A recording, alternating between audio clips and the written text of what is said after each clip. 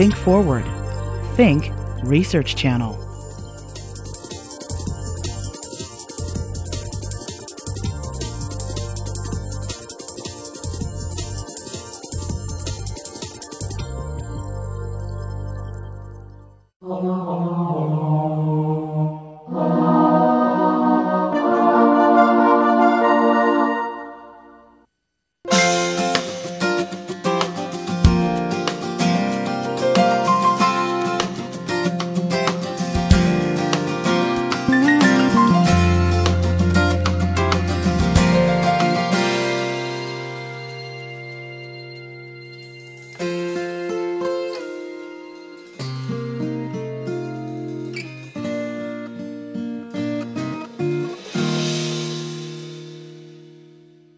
Start off by talking a little bit about hearing loss in general. Uh, it affects about one in a thousand people uh, that are born deaf worldwide, and about one in a thousand will develop deafness over their lifetime.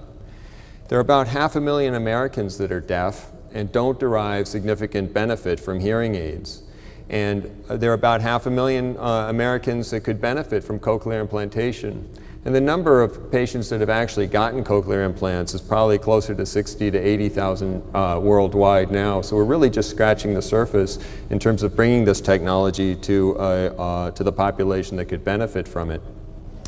In terms of the pediatric population, about 0.3% uh, of children under five years of age are deaf, and there are probably about 200,000 uh, potential candidates in this country.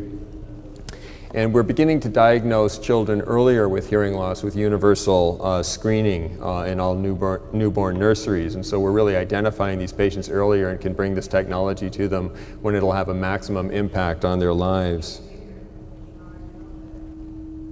So let's talk a little bit about the normal ear and ear anatomy. The ear can really be divided into uh, four parts. There's the external ear, the middle ear, inner ear, and we can't neglect the brain as part of the central part of, of hearing.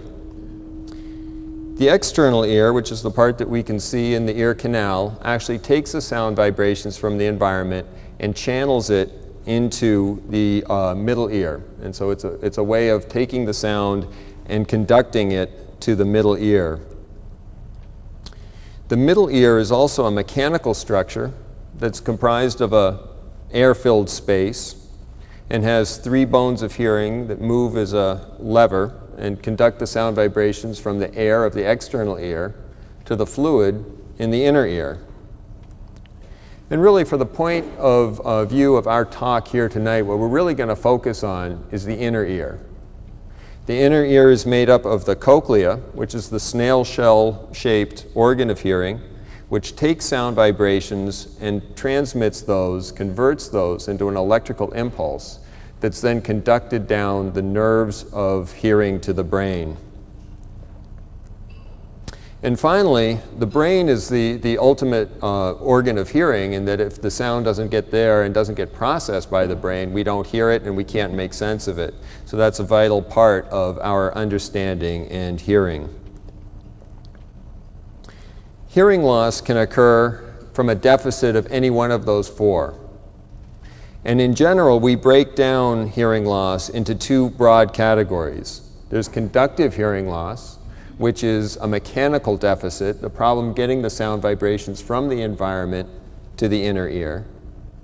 And then there is sensorineural hearing loss, which is a problem converting that vibration to an electrical signal that the nerves in the brain can understand. And it's really that sensor and neural part that we're going to focus on today. So let's talk a little bit about cochlear anatomy. The cochlea is the part of the inner ear that has that spiral shape. If you were to cut across one of those turns of the cochlea, it's filled with several different chambers with fluid in it. Sound vibrations go to those, uh, those fluid-filled chambers and they vibrate the membranes that divide those. Inside the cochlea are a number of these microscopic hair cells. When these hairs on the hair cells bend, it causes the hair cells to either fire more or less quickly. And that's really the part of the inner ear that actually converts the mechanical vibration to an electrical signal. An interesting fact about the cochlea that we take advantage of in cochlear implantation is the fact that it's tonotopically organized. So what does that mean? Well, you can think about it that if you were to unroll the cochlea, part of the, that tube that you would be left with is tuned to the high frequencies, part is tuned to the mid frequencies, and part is tuned to the low frequencies. So there's a, actually a spatial separation of the frequencies at different parts of the cochlea. The cochlea then sends that information to the auditory nerve, and we know that there are about 30,000 individual nerve fibers in the auditory nerve, in a, in a healthy, normal auditory nerve. We know that most people who have problems with hearing loss, with sensorineural hearing loss, actually have a problem in the cochlea and not so much in the nerve itself. So if these little hairs that bend and send an electrical signal to the nerve are lost, we're still not sure exactly what's going on with the nerve that used to listen to those signals. So the nerves themselves may still be there, but there's just nothing to stimulate them. And that's why people have the hearing loss. So if we look at this uh, schematically, we can think about the inner ear taking the sound vibration, converting it to the hair cell signals, which then goes down the nerve to the brain. A severely damaged inner ear can still receive the, the mechanical vibration, but it just can't uh, turn it into that electrical signal that the nerve would understand. And that's really what a cochlear implant is designed to do. It's designed to take those, um, the sound signals turn them into electrical signals that go directly to the hearing nerve. So it bypasses the injured part of the inner ear. So if we look at the components of a cochlear implant, there are two basic categories. There's the outside part and the inside part. The outside components, the part that you wear on the outside, almost like a hearing aid, is made up of a microphone and a processor that takes that electrical information from the microphone and digitizes it in a way that the implant can uh, then use. There's also a headpiece that's worn on the outside of the skin, above and behind the ear, that takes that information from the processor and sends it to the internal part of the implant. So if we look at the internal parts, This is the part that's placed surgically. There's a receiver, which is placed under the skin, behind and above the ear, that takes those radio waves from the headpiece and converts it to electrical signals that are then sent through a wire to an electrode that's implanted inside the cochlea right up against the uh, inner ear hearing nerve. So something that somebody that people always ask is, well, how does it sound? And I think it's worthwhile trying to give you an example of that. I don't think we can tell you as well as somebody who's actually been through it. Um, but it's worthwhile thinking about how does hearing loss sound? And I think we need to start there. And you need to remember that hearing loss is not just a matter of the sound being too soft. It's a matter of it losing the clarity and the inability to understand what the words are, not just a matter of hearing that there are words out there. So, for example, if we try to simulate profound hearing loss, it may just sound like a buzz. More moderate hearing loss, we may hear individual words and certain components of the words, but the consonants and a lot of the meaning of the sounds are lost. And I'll play the normal. Time present and time past are both so once you hear what the normal words are, if you go back to the more severe, you may be able to pick it out a little bit better, but you can understand how people living with this type of deficit have a terrible hard time understanding what's being said. So what cochlear implant users actually hear is difficult to simulate, and it's difficult to, to tell people who don't have one.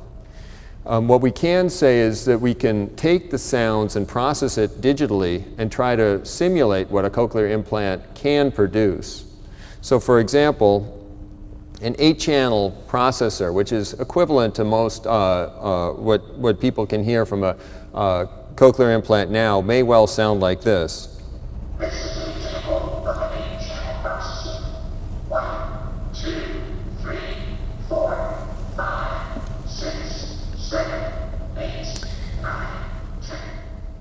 So it's certainly not perfect, but if you start off with a severe or profound hearing loss, that's giving you information that there was no way that you could get before, even with well-fit hearing aids.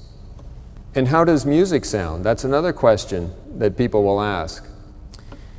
If we hear what early cochlear implant uh, users could hear with music,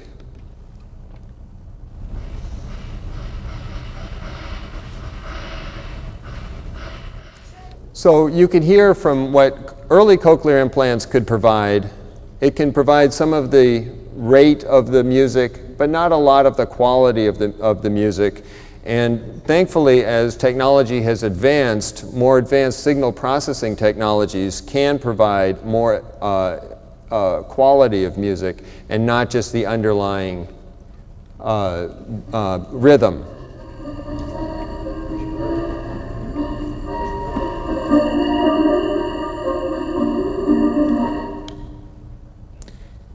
So what affects performance? When we implant patients, we would like to be able to tell them what it is that would influence how well they will do. Certainly some people do very well and some people don't do as well. And we try to pick out what are the individual uh, uh, factors that could influence performance. Well, certainly the technology that we use can influence performance, and thankfully that has been increasing and helping us with the, uh, with the results. The cause of the hearing loss can also influence how well people do. And the number of nerve fibers that survive has a big effect on how well cochlear implants work as well. And then the central processing, the ability for the brain to make sense of the signals that are being presented is crucial to this. And we think that as, as we're looking into this more and more, we find that that has more and more of, a, of, a, of an effect on how well people are doing with cochlear implantation. We'd like to be able to look into our crystal ball and tell our, our prospective patients exactly how well they're going to do, but we're still not able to do that. And I think uh, Jan Larky will be talking a little bit more about some of the factors that can make somebody do well with a cochlear implant as opposed to poorly. Almost all causes of sensorineural hearing loss are amenable to cochlear implantation if they're severe enough. That is, assuming that they preserve the, the anatomy of the inner ear to allow us to put the implant in, right, and also allow the nerve to continue to survive. There's clearly a window of opportunity that we have, especially for children, in terms of when to implant as children's brains are developing, they need to develop getting sound information in to make the use of, uh, of auditory information. And so when children are diagnosed with hearing loss, it becomes critical to offer or consider them for cochlear implantation at an earlier time so that that brain is not used for other sensory modalities and not used for uh, auditory processing. So how young can we implant patients? Well, the FDA uh, guidelines say 12 months, all right, but children can be implanted even earlier than that. And it seems that the younger that we implant patients, the better that they do. So we're still exploring how young to implant patients once they're identified as, as being potential uh, candidates for implantation. I couldn't resist putting a picture of my son in, getting his newborn infant screening uh, a couple of weeks ago. Children are being screened now in the um, uh, newborn ICUs, so we're uh, our uh, newborn uh, nurseries, so we are picking up hearing loss at an early stage now, and that allows us to intervene much uh, sooner.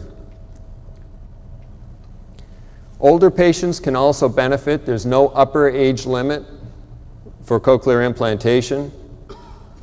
There's always a question about which ear to implant.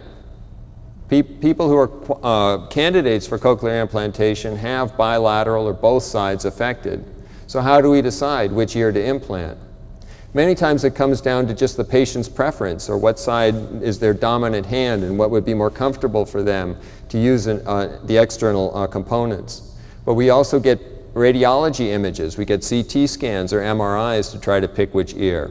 We do a lot of extensive radial or audiometric testing to determine which ear could potentially have the greatest nerve surviving. Some of the imaging studies that we use are CT scans and MRI. You can see on this MRI image, this is the um, snail shell shaped cochlea here. Gives us an idea if that's normal, if it's open, if that's able, if we're able to put a, a cochlear implant into that inner ear. And this is the cochlea on a CT scan. That's important because some diseases will obliterate the inner ear anatomy. And if you look at this, this is a CT scan of a patient who had had meningitis. On one side, we see just bone where it used to have a cochlea. And that's because new bone has formed and obliterated the area that used to be the, that corkscrew of a cochlea that we can see normally on the other side. And this can make it very difficult for us to use a cochlear implant in these types of situations. So obviously, we would prefer to implant the left ear in a patient such as this. So I'd like to talk a little bit about the surgery.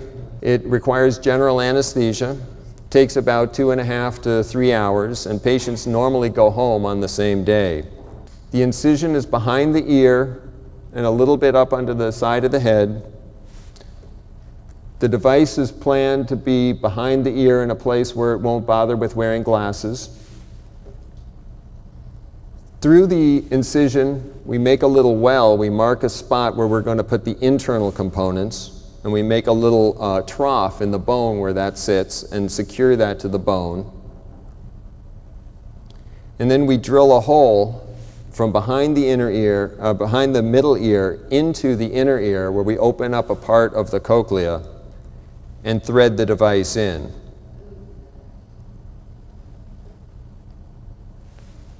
So the device is threaded in such a way that it will curl around the cochlea so that when the electrodes that are stimulated at one side will stimulate the, uh, the low frequency uh, nerves and the electrodes at the other side will stimulate the high frequency hearing nerves.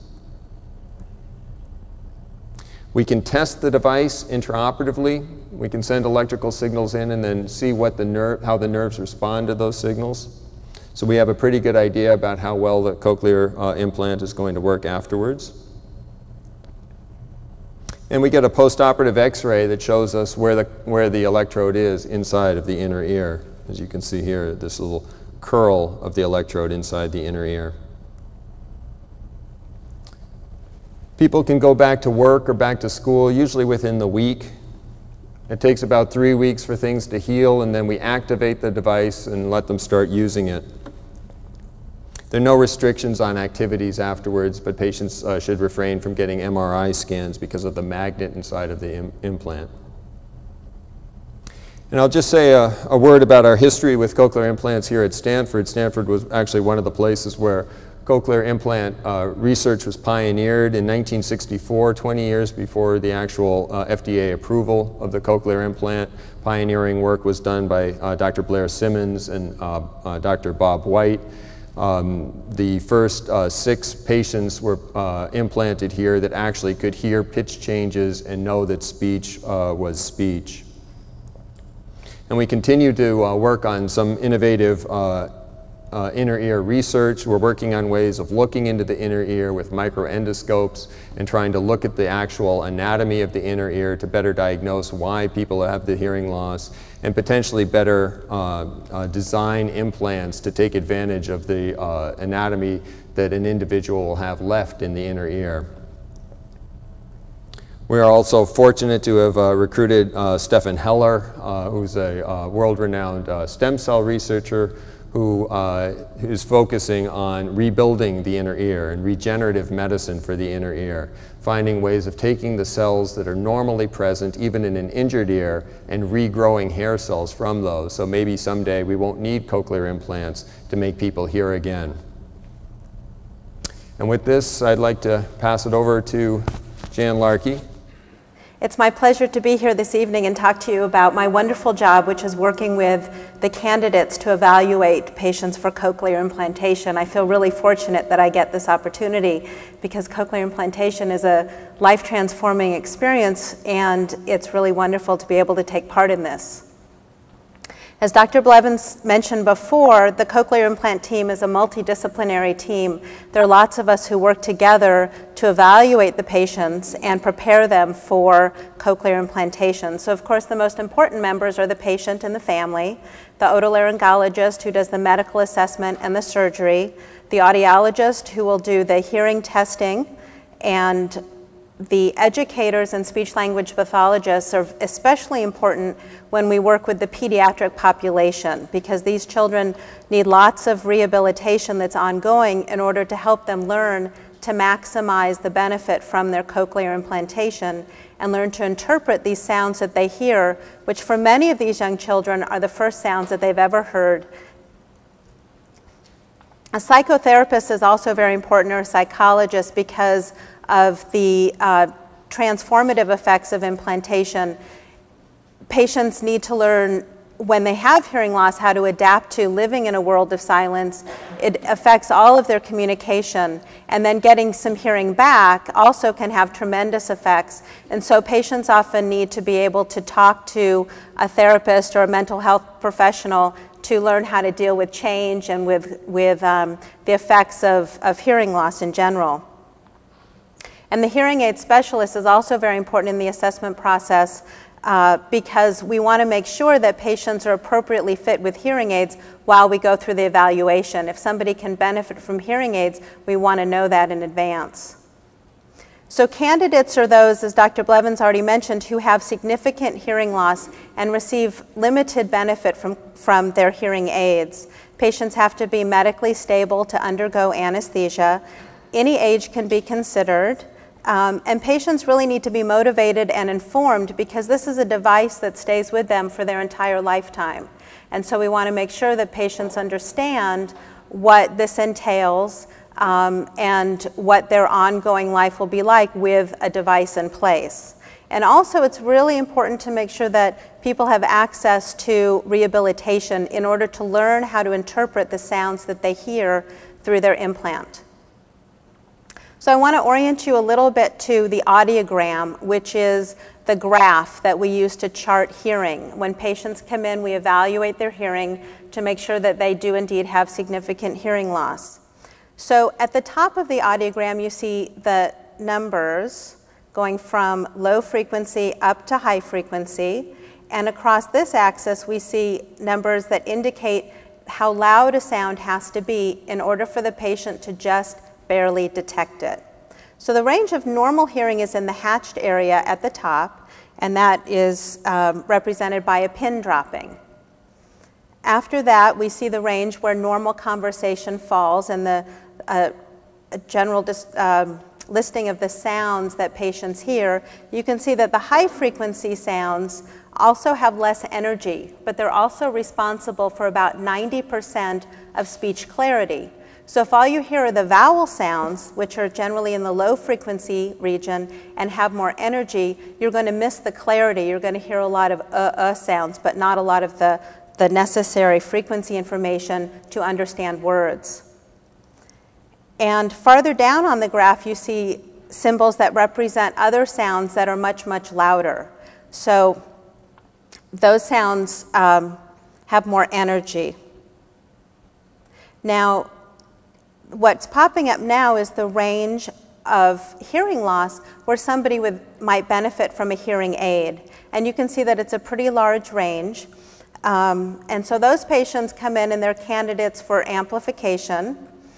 And what we also know, though, is that the range for cochlear implantation from the 1990s showed that patients had to have essentially no hearing. Um, that if there was any benefit from hearing aids at all, then they would probably not be considered for cochlear implantation. But that has certainly changed today. In 2005, you can see that we're sort of encroaching on the range of hearing aids almost. So patients with more and more and more hearing are now eligible for cochlear implantation and tend to do quite well with this device.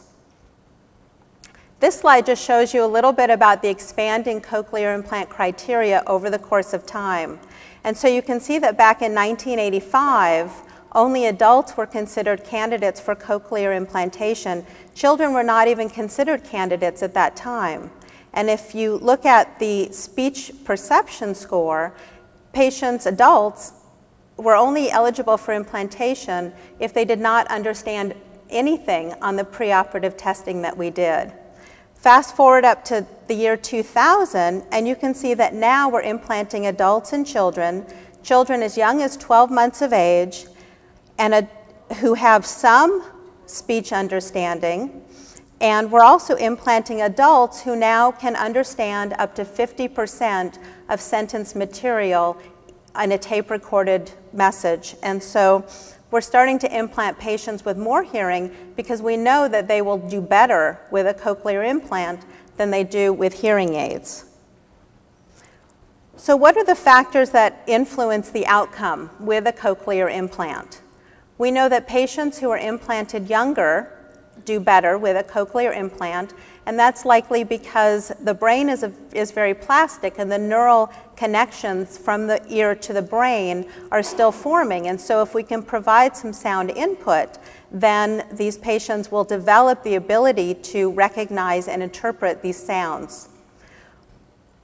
So, we also know that the shortest amount of time a patient has experienced hearing loss or deafness, the better they will do with their cochlear implant. So somebody who has had significant profound hearing loss for three years will do better perhaps than somebody who has had hearing loss for 65 years. Additionally, we know that um, patients who have had significant hearing loss for long periods of time can still receive benefit. An interesting population are the teens and those people who are adults and have never heard and then decide to get cochlear implantation. So the potential for these users is still tremendous. They can still have lots of sound awareness, um, but they must be very, very motivated because it's likely that they will not be able to understand speech over the telephone or recognize normal conversational speech without the addition of lip reading.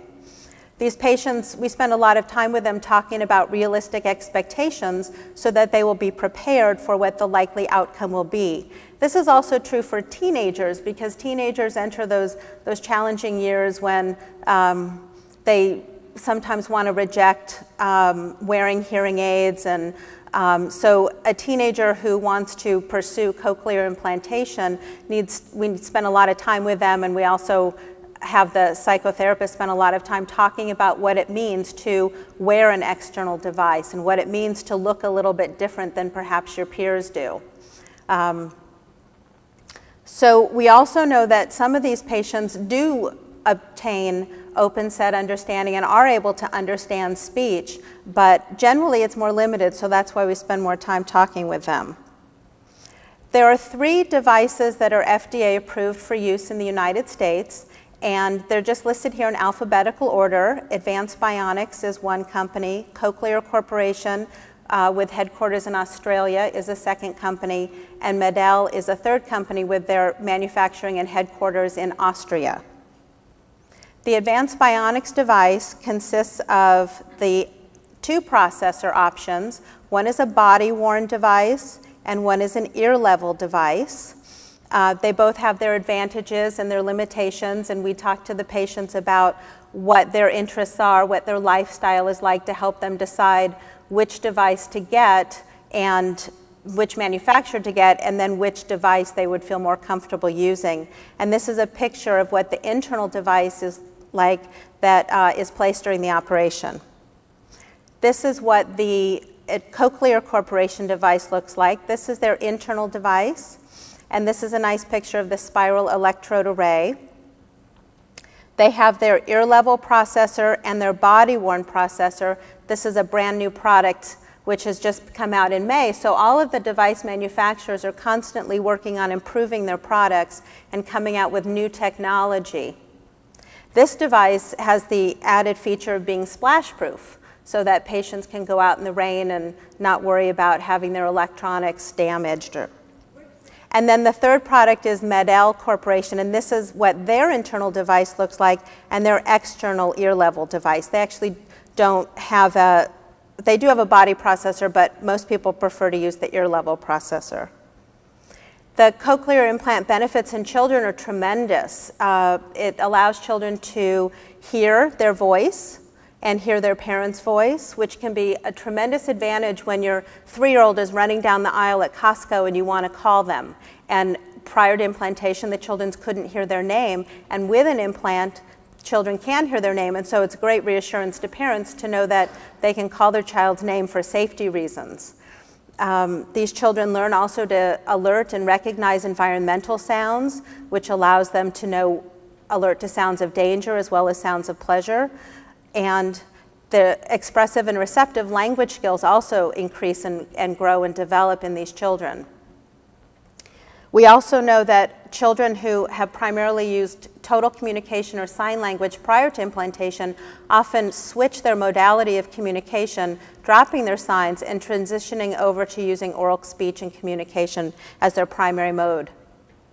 The benefits of implantation in adults are also tremendous, and we have a cochlear implant recipient here who will speak with you in a little bit, and she can give you more firsthand information about her personal experience.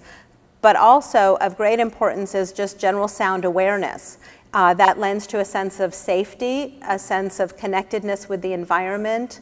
Um, these adults are often able to understand speech without the use of lip reading, which, as you can imagine, can be a tremendous advantage while driving in the car, uh, during power outages, when camping, et cetera, whenever there's not a lot of light to use lip reading cues.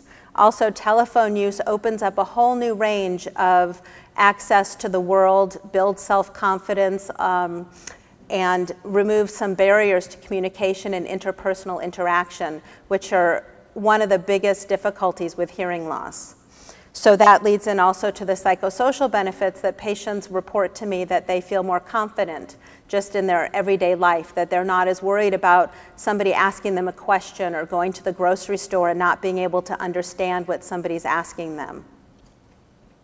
So if you'd like some more information, here's our contact information, and we'd be happy to answer any questions after our presentation as well as in the future it's my privilege now to introduce to you our cochlear implant user, Cindy Smith.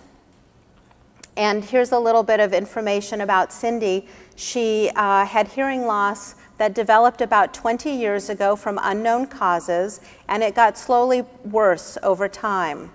Her right ear was her better ear, and uh, you can see that here by her sentence comprehension score. So prior to implantation, she achieved 32% of words in, in, sentences that she was able to recognize and 0% in her left ear. And you can see here that she had what we would describe as a severe to profound hearing loss. In February, Cindy received a cochlear implant to her left ear, and these are her cochlear implant thresholds that were just obtained the other day. So you can see that she now is able to hear and, and hear sounds in almost the normal range. That doesn't mean she has normal hearing, but it does mean that she's able to, to, to detect very, very soft sounds. Um, her speech understanding has gone from 0% in the left ear to 99% understanding of sentences in a quiet situation and 96% sentence understanding with a fair amount of background noise. So this is a really, really remarkable performance. So with no further ado, I'm going to introduce Cindy to come up and share a little bit with you about her personal experience. Good evening. Thank you all for coming tonight. And thank you to Dr. Blevins and Jan for inviting me here. I hope I'm talking loud enough. Okay.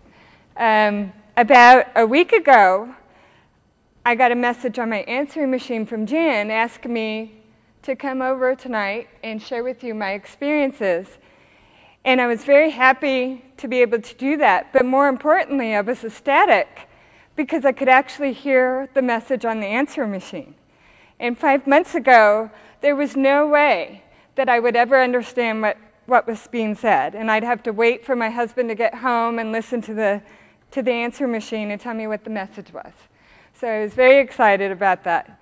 Um, as Jan mentioned, I started losing my hearing when I was about 19 years old.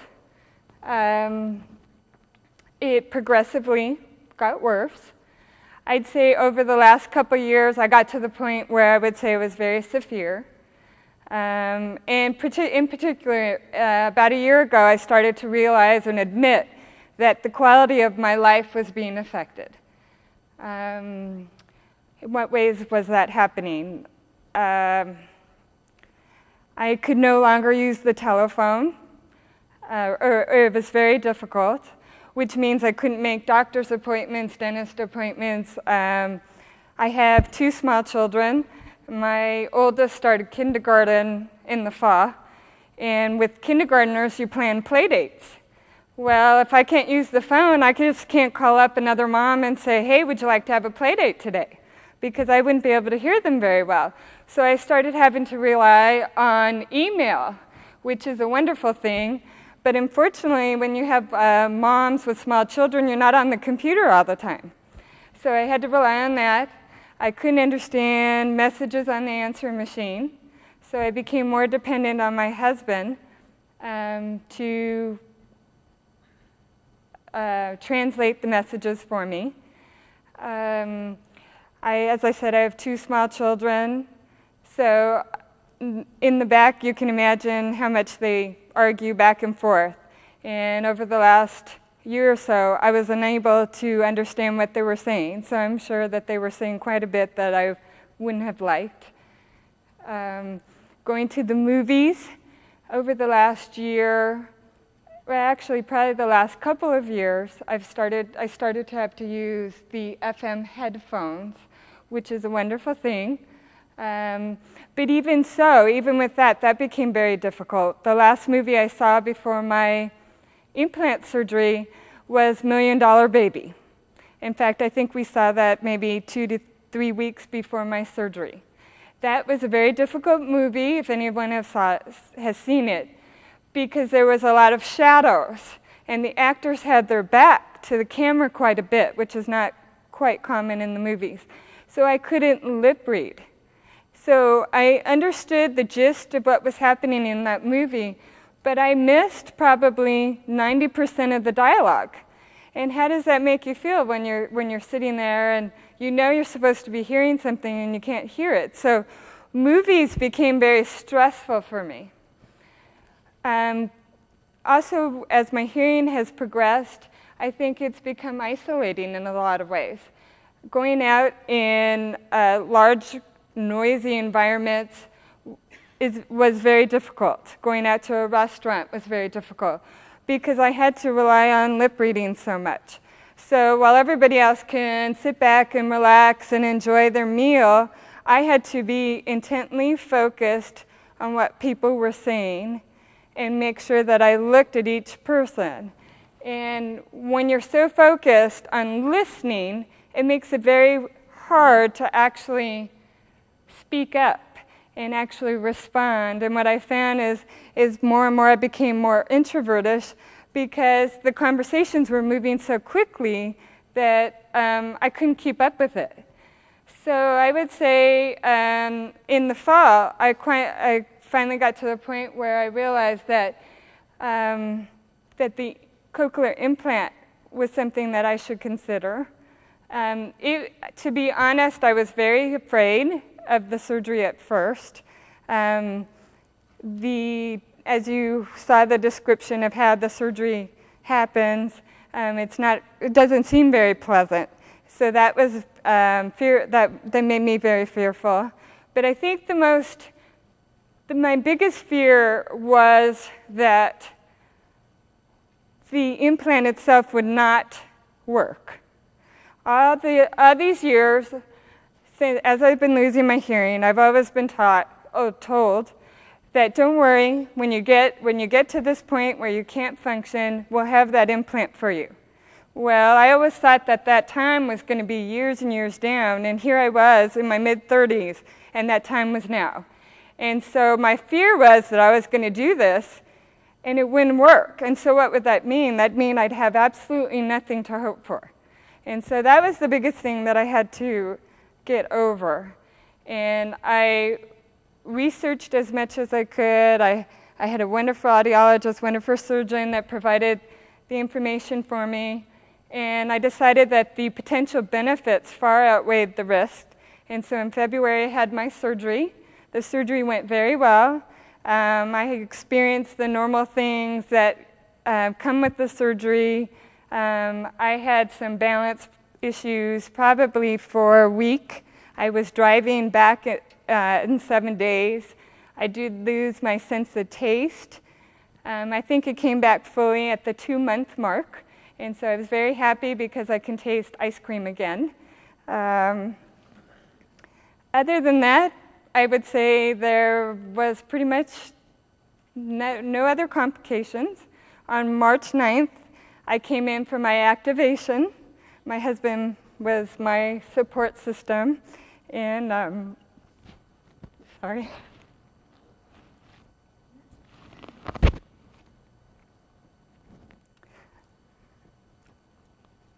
Um, he held my hand while they hooked me up.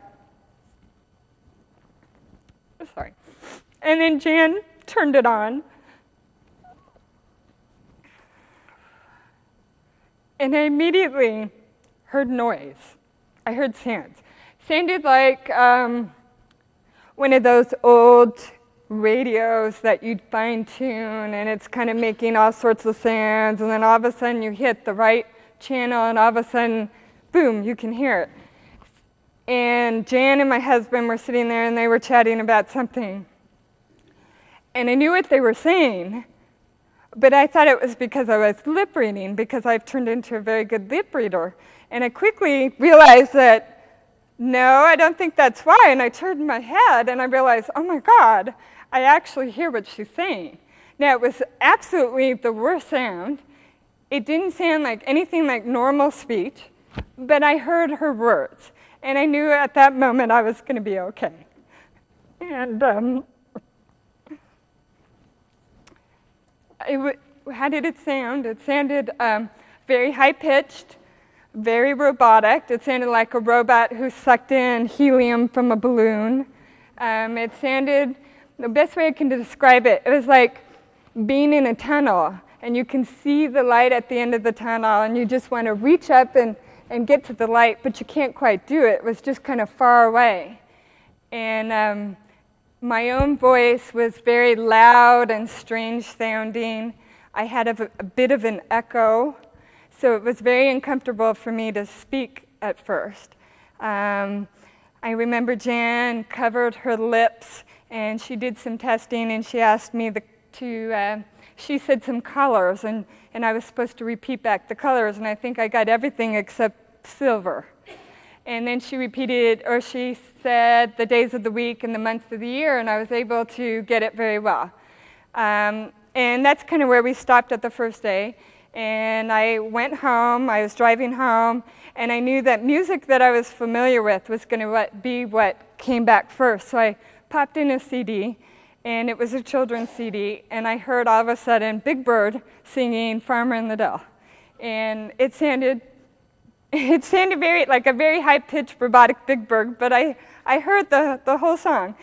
And um, then came back my next day, the next day for an additional mapping, and that helped tremendously. We kept fine tuning it.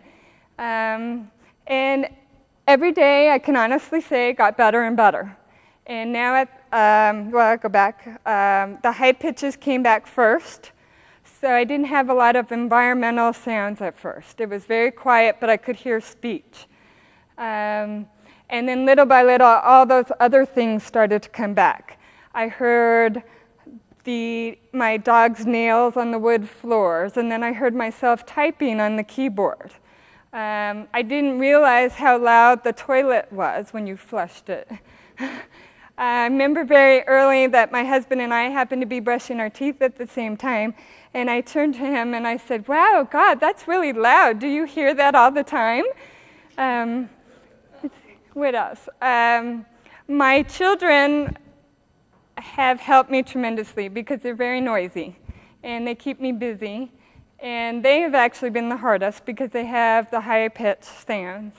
Um, but that has come back. I can hear my six year old very well. My three year old presents more of a challenge because he's still developing his speech. Um, let's see, what else? I can hear birds chirp again. I can hear um, I can hear the kids talk better when I'm driving in the car. Before, I used to have to pull over to the side of the road, turn around so I could see them and find out what they were fighting about. Now I know what they're saying, so it's kind of, I don't know if that's a good thing or a bad thing. Um, what else? About at the maybe the one month, one month and a half mark, I was at the park with some moms and their children, and we were having an Easter egg hunt. And I had my digital camera, and I was taking tons of pictures. And I kept hearing this beep, and I couldn't quite figure out what it was. I was looking everywhere, and finally I turned to this mom next to me, and I said, What is this beep? Do you hear it? And she looked at me like, It's your camera. And I said, You mean it's making a noise? And she said, Yeah, it always makes a noise when you take a picture. And I had no idea because my hearing has been so bad ever since they've had digital, digital cameras. So I had no idea what this beep was. And then also for Easter, we went down to visit my in laws, and we were outside in the evening, and I heard this constant kind of a, a low hum, and I realized, oh, those are the crickets. And it was such a beautiful sound to hear that again. Um, I can tell you, see, the telephone. I am using this telephone. I can hear on my cell phone very well, which is a is an amazing thing. Um, I can hear in a regular telephone. Um, I have found that it is easier to wear uh, my Bose headphones plugged into an amplified telephone because the sound is right next to the to the microphone. But that's just my own personal preference. Um, I did go to a movie again. Uh, my first movie was a children's movie called Robots, which was probably a hard one to start with because robots have no lips. And um, I actually tried to, to listen without, this was about at the month mark. I listened without the FM headphones and I wasn't able to do it. It got very frustrating, so I put the headphones back on and boom, it was just clear as a whistle. And I can't tell you what a tremendous difference that is because you can actually sit back and relax and enjoy the movie instead of sitting there thinking, oh my goodness, my hearing's getting worse, I can't hear the dialogue, you know, all the things that go through your mind. Um, and now at the three month mark, I did see my first adult movie, which was Cinderella Man. Um, and I was able to go through the entire movie without the headphones, and I actually heard the music. I heard the dialogue, and it was just wonderful. And uh, that music is another thing.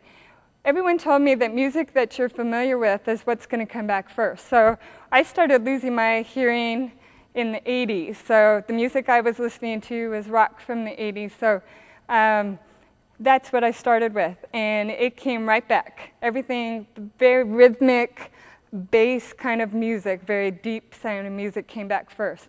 Instrumental music is still hard. It still requires some effort, but I think over time I'm hoping it gets better.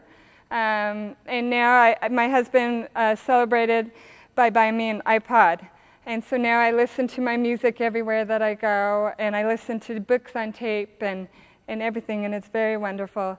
And um, I'm very lucky. I'm very thankful for um, to Dr. Blevins for his help and Jan for being so patient um, when I come in for my mapping and I try to describe what I'm hearing. It's not an easy thing to describe to a, a, hearing, a normal hearing person, and she's been very patient.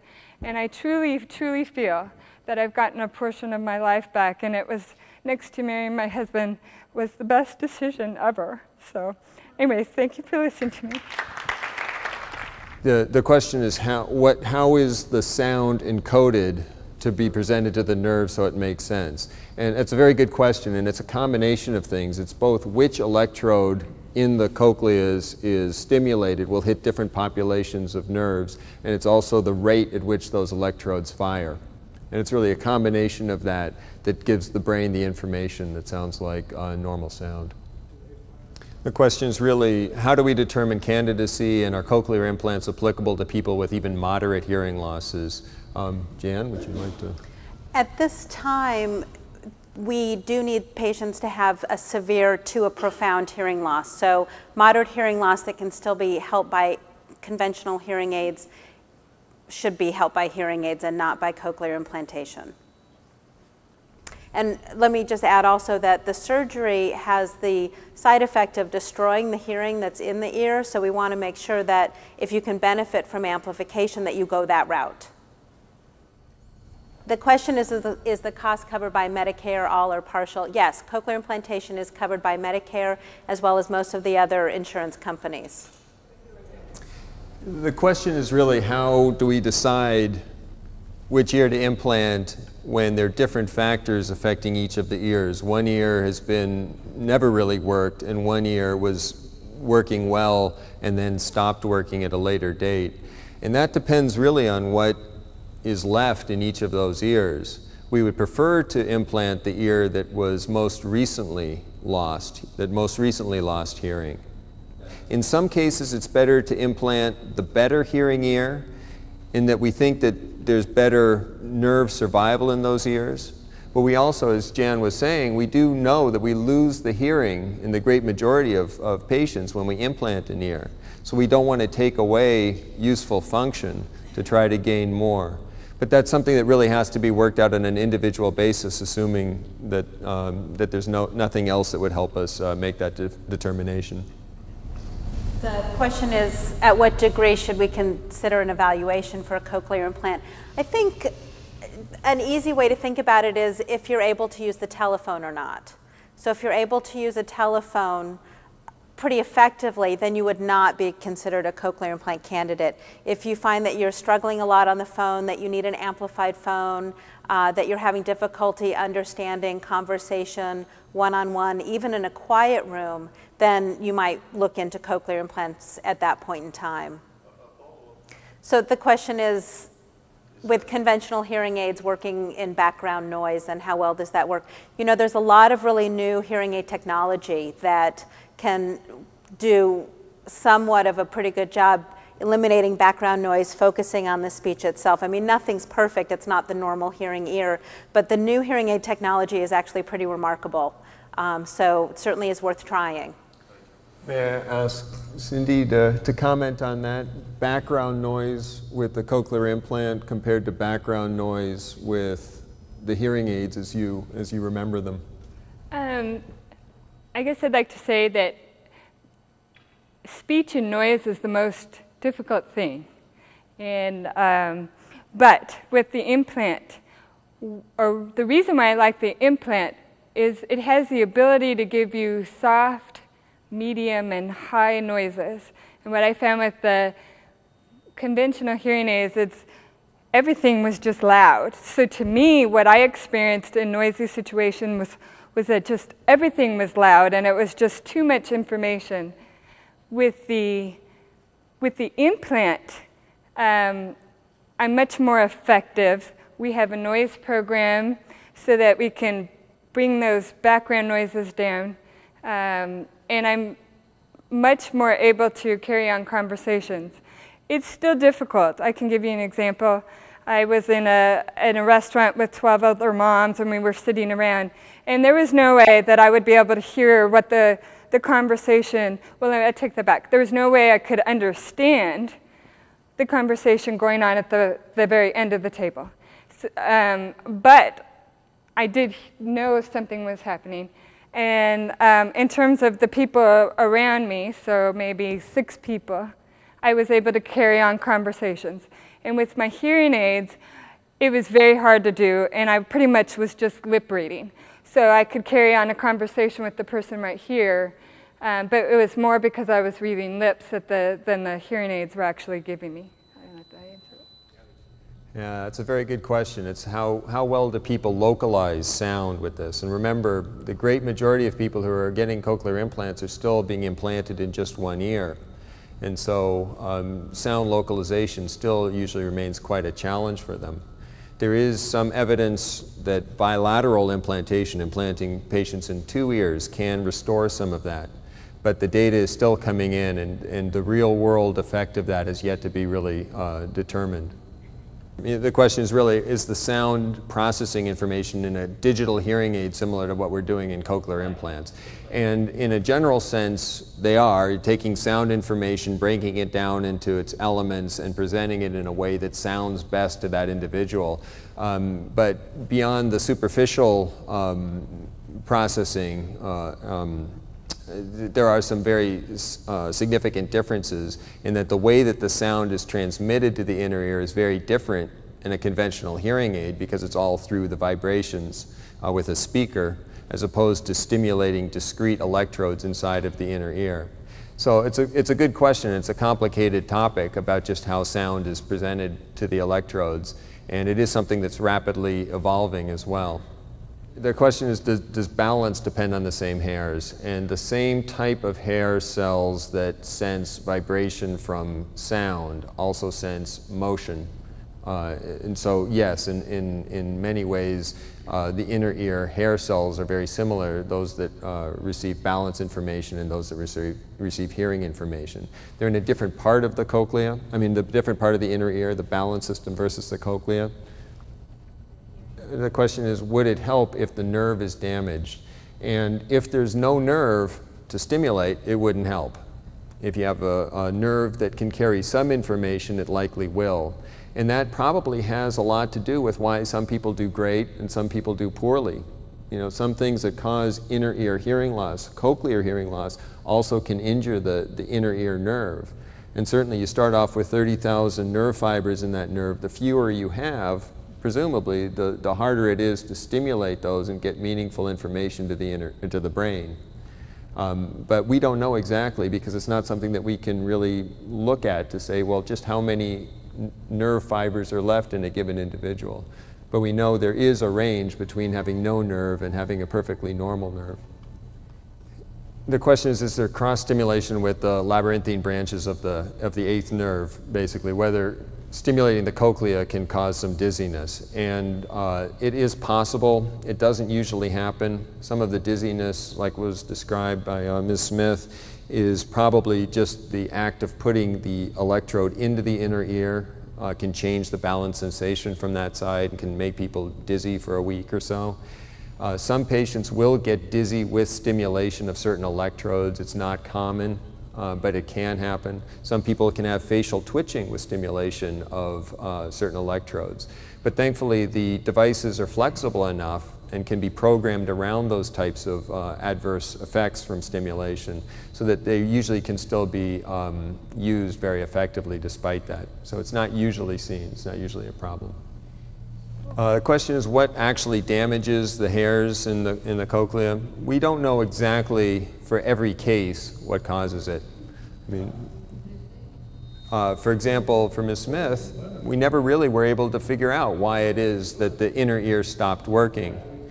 In many cases, it can be because of um, loud noise exposure, that the little hairs are just sheared off from real mechanical trauma from loud noises. It can be that certain drugs have been used that have gotten into the inner ear and caused an injury either to those hairs or to other parts of the inner ear that are sensitive.